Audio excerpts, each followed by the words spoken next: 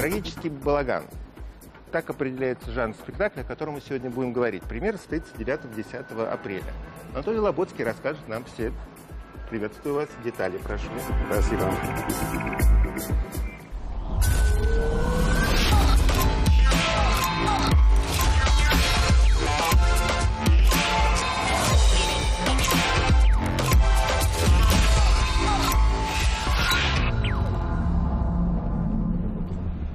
Итак, стало быть последнее. Максим Горький.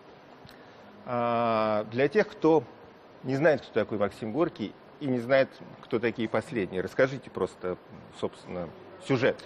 А, Максим Горький – это буревестник революции, если кто не знает, да. А последнее Да. – это одна из многочисленных его пьес, потому что э, драматургом Алексей Максимович был достаточно плодовитым. Пересказывать содержание – дело очень неблагодарное. А концепцию, вот у меня по концепции написано, что э, э, это рассказ о том, как грехи родителей влияют на судьбы детей. Вот, отличная концепция. Да? Я- да. Со- Значит, соответствует, да, да? пьеса о том, как грехи родителей влияют на судьбы детей. Это можно о многих пьесах, наверное, сказать. Да. Вы знаете, есть совершенно безгрешные э, существа по определению. Да- давайте сюда это существо, это кошки, потому что а- они сами по себе, и если они э, грешат, то в своей собственной системе координат. Ой. Вот мы, у нас такая миссия, мы пристраиваем э, бездомных Замечательная кошек. миссия. Это кто у нас? Матюша. Матюша? Ух, Ой, красавец какой-то. Это же Красавица, а не красавица, конечно. британец. Вот, да. британец. Это британец? Да, настоящий? Вот, настоящий британец у нас. Вы, кстати, как относитесь? Кошкам К- очень да. хорошо. Я рос с кошками, у меня всю жизнь были кошки. Сейчас нет, просто э, образ жизни не позволяет держать животное, а я бы с удовольствием, потому Да? что я люблю их, да. Мы можем и вам отдать. А, Я же говорю, не позволяет образ жизни. У нас, кстати, еще есть такая традиция, если вам вдруг покажется, что какое-то имя соответствует животному, то можем его через там дефис или слэш переименовать, ну, это повысит его капитализацию. А, ну будет да, звё- безусловно. звездное будет переименование. Значит, возвращаемся э, к последнему. Да. А, Мы с вами выяснили до, до- до эфира, что э, вы не видели э, предыдущую постановку по- по- последних и вообще считаете, что э, не надо засорять голову вот, э, при, э, при подготовке к премьере, э, отсматривая предыдущие воплощения. Нет, я так не считаю. Так. А, Иногда, иногда да. бывает на пользу посмотреть Ага. то, как промучились коллеги где-то. Мгм. А, Я бы сказал, э, что можно почерпнуть что-то полезное, безусловно. А я бы не стал смотреть какие-то давнишние, скажем, постановки, а недавние, более современные, скажем так, в современном изложении, я бы посмотрел. Да я, может быть, и посмотрю. Но Мгм. после того, как мы выпустим премьеру. М, 9-10 апреля. Да, да. Чтобы не заимствовать. А, я так, насколько понимаю, у вас э, это все происходит в, современных интерьерах, там стиральная машина на, на- на сцене. Ну То есть да. это Да, там такая- она не привязана к эпохе, скажем Мгм. так. Не привязана, а все эти м, осовременивания, так скажем, да, современные костюмы, современные интерьеры, а, честно говоря, меня мало волнуют.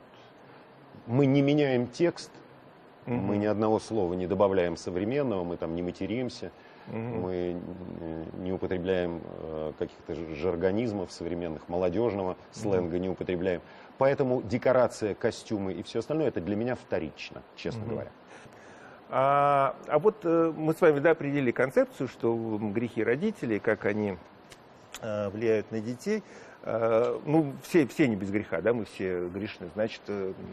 Кроме нашего Ну да, да, я имею в виду двуногих, да. замечательного, Вот, а, ваши грехи как-то на, на ваших детях отразились, допустим? Я думаю, да. Есть такое понятие, как карма, да. Мгм. Я думаю, что своими грехами я мог подпорми- по- по- подпортить карму э, детям. Безусловно. Э, Пока это не явно проявляется, но опасения за будущее есть. есть. Вот вы э, стали э, отцом, то есть ваш сын родился, когда вам было лет 18, по-моему, 19. Ну, То есть 19, очень, да. очень, Сейчас это редкость. Вот, э, в наше время это достаточно часто э, там вот, происходило. Я там то, тоже стал папой, когда там мне было 18, 18 лет. А, не риторический вопрос, действительно не знаю ответа на него. Это хорошо или плохо? Вот, э, рожать э, рано вот в студенческом возрасте становиться родителями. Такими, в общем-то, не безответственными, ну просто в силу возраста, но молодыми. На такое тут палка о двух концах. Да, вот. С одной стороны, ага. в общем-то, хорошо, потому что сейчас у меня взрослый сын, разница между нами в 18 лет, она вообще не ощущается. Мы как друзья, угу. как приятели общаемся, да, а не как важно, отец да. с отцом. Это угу. очень хорошо. Угу. Но детство моего а, старшего сына, оно, безусловно, было подпорчено моей юностью. Угу. Я, я внимание не, был, не доставало, да? Разумеется, я не, был, я не был готов быть отцом, быть э, заботливым отцом, да любым отцом я не был готов быть.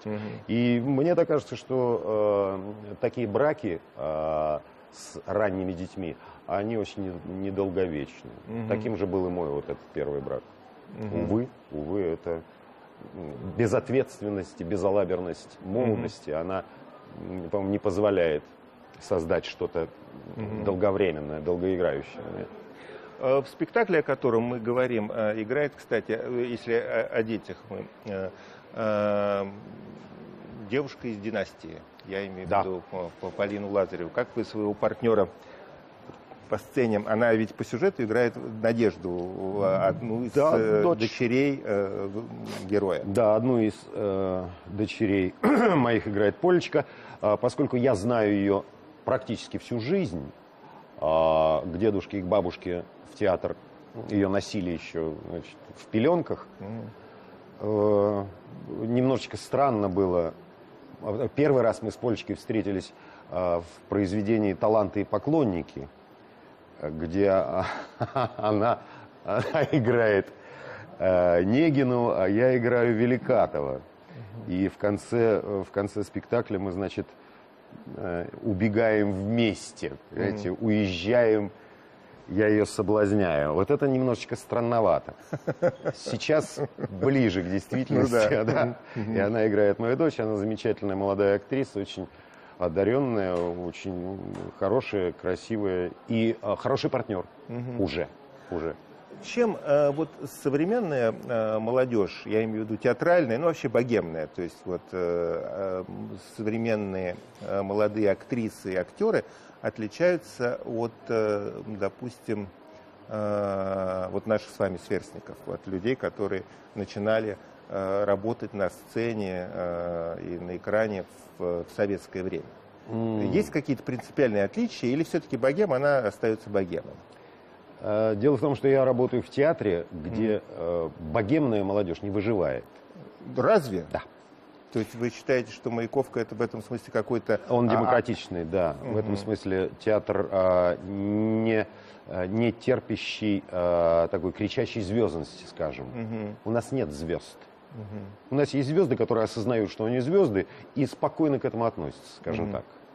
А молодежь, которая начинает, снявшись в двух сериалах сомнительного качества, начинает считать себя звездой, она у нас не, уж, не приживается, такая молодежь.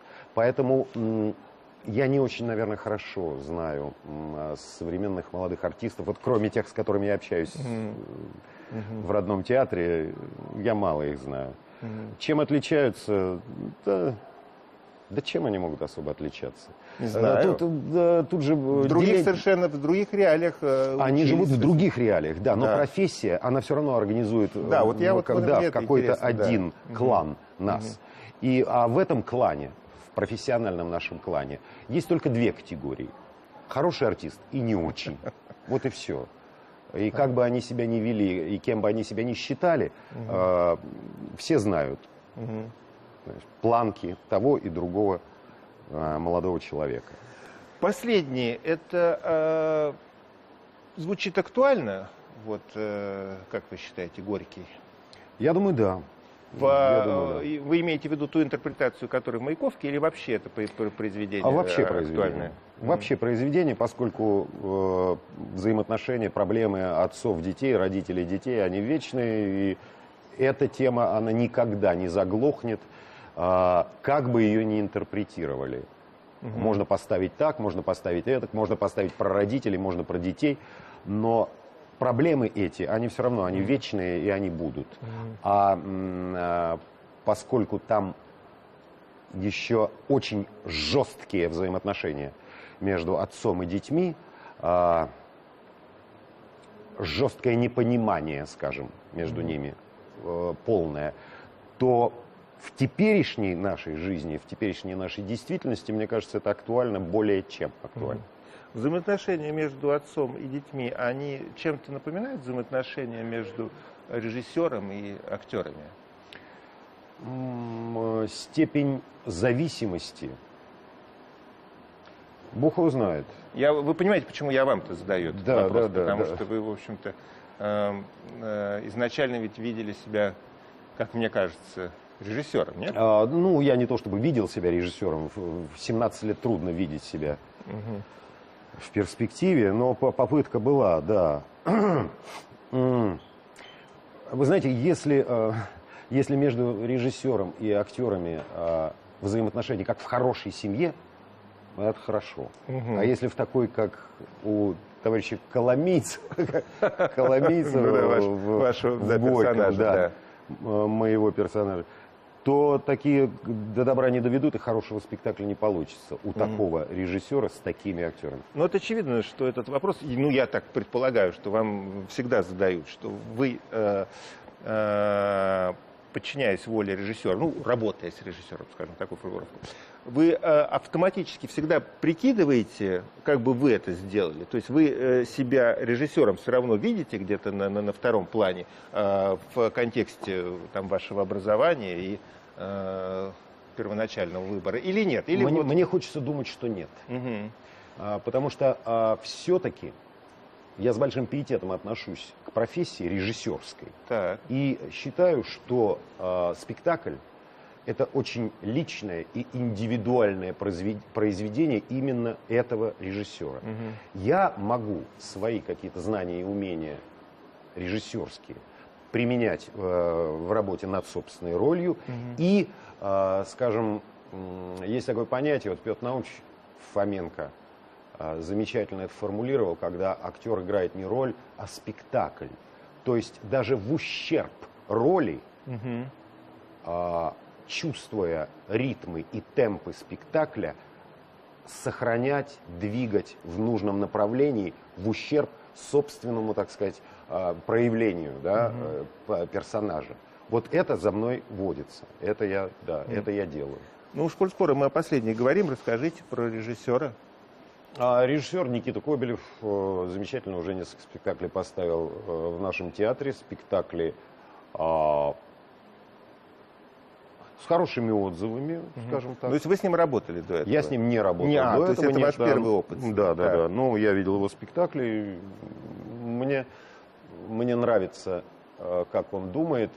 Э, и даже если я с ним не всегда согласен, я опять подключаю вот то свое ощущение, что это его произведение. Угу. Это вот Алексей Максимович и он. Угу. А мы инструменты, мы э, его... Угу способы выражения, самовыражения. Угу. Пусть самовыражается, угу. а там посмотрим. Вы себя, как это принято сейчас говорить, позиционируете как театрального актера? Безусловно. Почему? То есть то, что вы делали на экране, вас не, не удовлетворяет и не, не нравится? Или... Ну, 3-4-5% меня, может быть, и удовлетворяет, остальное нет. Угу. Но вы же понимаете, что узнаваемость приносит вот э, те, те самые сериалы, про которые вы так вот э, да, э, да. отозвались э, не слишком, да, не слишком лестно, да. Ай, э, дело в том, что ну я уже, наверное, в таком возрасте нахожусь, когда вот это вот, э, ну хорошо, не в возрасте, в таком статусе тоже нехорошо говорить, ой, мой статус, да. В общем, я так себя позиционирую, что, ну, а так ли это важно, вот эта вот узнаваемость, вот это вот. А вот это вот, кстати, вопрос. Вот э, э, люди идут в профессию, в, вот вы, в частности, выбрали э, это ремесло, э, понимая ведь, да, что есть такая составляющая, как э, известность, популярность, слава. это существенно или нет? Или для, вы, для меня было несущественно. То есть для вас вы, важно вот там самовыразиться, что-то что сделать? Для меня а... интересно, да, мне, мне интересен процесс, скажем mm-hmm. так, и сама профессия mm-hmm. интересна. И а, мне казалось, и до сих пор, может быть, безосновательно, но кажется, что я что-то могу еще сделать mm-hmm. а, в этой профессии. Я. А, то, как а, на это посмотрят, как к этому отнесутся, это дело э, шестое, седьмое Мы сейчас говорим про публику или про критику? Про вот отнесутся, про публику. Э, критика, ну, э, театральной профессиональной критики сейчас практически не существует. Ну, и а кинокритика? А, кино, а откуда она возьмется, кинокритика? Кто, кто сейчас э, занимается кинокритикой? Ну, ну, есть, наверное, люди. А, ну, фамилий. есть, наверное, Мы, мы знаем. А, ну да, есть и журналы специализированные, искусство кино и так далее. Ну, кто их читает? А всегда так было? Или э, это вот э, э, в постсоветское время исчезла критика? Или не было и в советское время? Была. У нас была э, одна из лучших школ mm-hmm. театральной критики. Да и киношной тоже. Я никогда не очень это понимал. Э, что значит э, театральный критик? Для чего? угу. существует эта профессия. Но тем не менее они существовали. Сейчас их можно перечислить на пальцах одной руки угу. профессиональных критиков театральных. Киношных не знаю, я просто не из этой сферы. А что, э, э, что значило, скажем, в 20-30 лет назад статья какого-нибудь маститого критика? Он мог убить спектакль, угу. или он мог сделать этот спектакль э, вершиной творчества режиссера. Сейчас а, то же самое делают кассовые сборы, коммерция. А, ну, что делать, если все сейчас меряется по большей А частью. может быть это, кстати, потому что огромную роль стали играть в, в этом смысле потребители, потому что а, сейчас же существует благосфера, где вы, как мы выяснили, не представлены. Нет, не представлены. А, и а, они взяли на себя роль такого, ну, условно говоря, вот, ну, массового критика. Потому что каждый волен сейчас сходить на э, премьеру в Маяковку и после этого прийти и накатать любого объема э, текста. Если он совпадет э, э, с, с реакцией других э, зрителей, то его будут расшаривать, он будет тиражироваться. Э, может ну, быть, поэтому, поэтому я и говорю, что профессии как таковой не существует.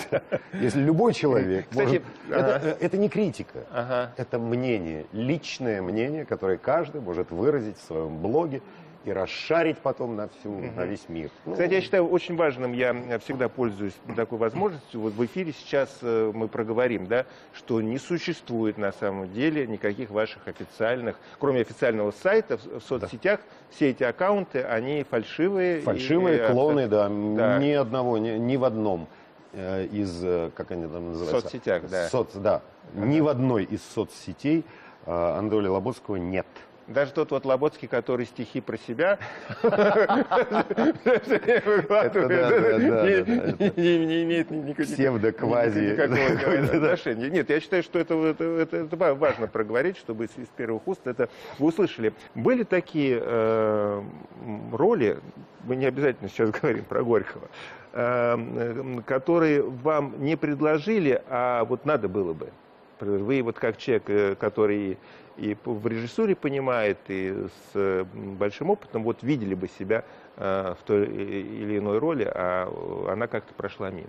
Да, это было, но это было еще при Гончарове, потому что я был э, молод и, разумеется, рвался э, играть, mm -hmm. но играли, я, я-то думал, что я, я соответствую и по возрасту, mm -hmm. и по внешним данным, и по моим, э, значит, внутренним каким-то качествам но предлагали играть э, не мне, а человеку медийному, как сейчас говорят. Ну, назовите уже, ну что а, это? Ну, ну например, ну, да, как э, mm. замечательный пример, э, э, был у нас такой спектакль э, э, по Бабелю, э, значит, э, этот, как его зовут-то, Мендель Крик, боже мой. Неважно, все, все ну, поняли. Да, да, да, ну, понятно, да, о чем я говорю, да. А, Армен Борисович играл Менделя. А есть у него там такой персонаж замечательный Беня, Беня Крик, его ага, сын. Да. Вот.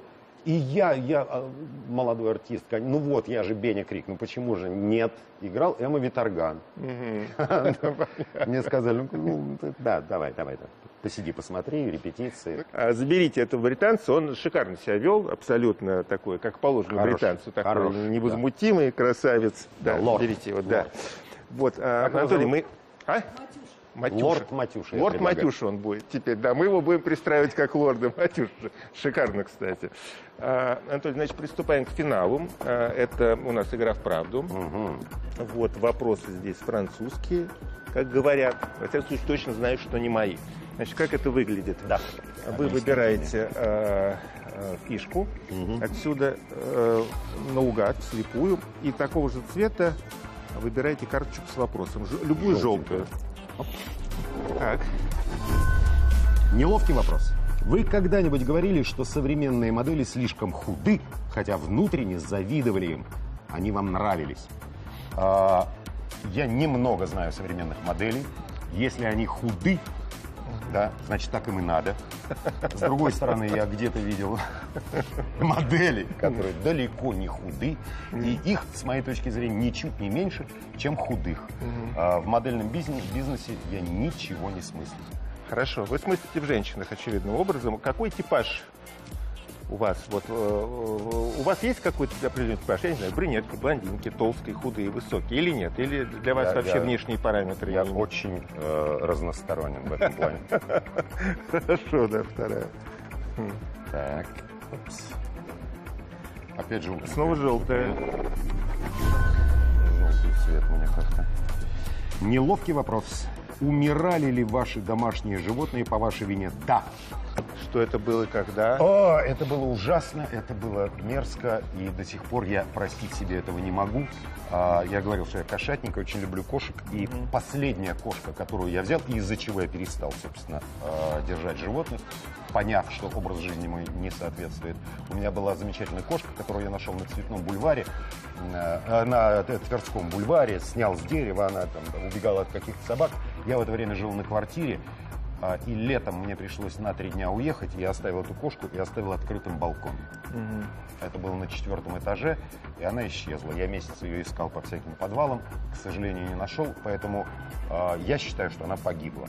Хотя, может быть, и нет. У нее был, был питье, было еда у нее? Да, да, да, Тогда да. вашей вины абсолютно нет. Ну как, а балкон открывать? Это выбор а, животного. Вы Она думаете, ходит. она сама, да? Конечно, конечно. Ну, так, финальная. Хотя бы успокоился. Потому что столько лет прошло. Красная.